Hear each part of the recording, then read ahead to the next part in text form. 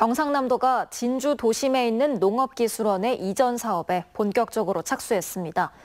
2026년까지 진주 외곽에 이전을 완료할 예정인데 관건은 토지 보상입니다. 이준석 기자입니다. 1908년 진주 종묘원으로 시작한 110여 년 역사의 경상남도 농업기술원이 진주시 초전동의 도심 시대를 마감하고 이반 성면의 들판으로 이전합니다. 이전 목표 시기는 2026년. 최근 이전지 보상 계획을 공고하고 지주들에게 통지한 경상남도는 올해 안에 보상 협의에 나설 계획입니다. 지난 9월 2일 토지 보상 계획 공고를 시작으로 본격적인 보상 업무에 착수하였습니다.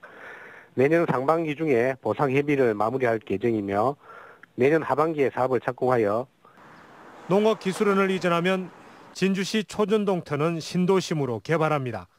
경상남도는 지금 비어있는 옛 종축장터 6만 7천여 제곱미터를 1단계로 농업기술원터와 일부 사유지 34만 제곱미터를 2단계로 개발합니다.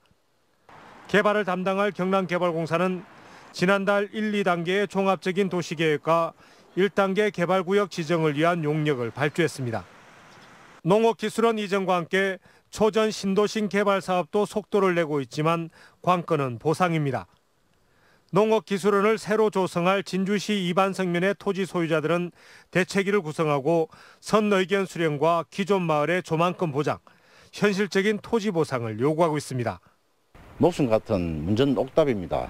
어, 충분한 어, 보상가가 어, 실현이 돼야 되고 그렇지 않을 경우에는 대토 보상을 야무지게 경상남도는 농업기술원 이전지 주민들의 의견을 수렴하고 보상 업무를 안내하기 위한 설명회를 다음 달 중으로 열 계획입니다.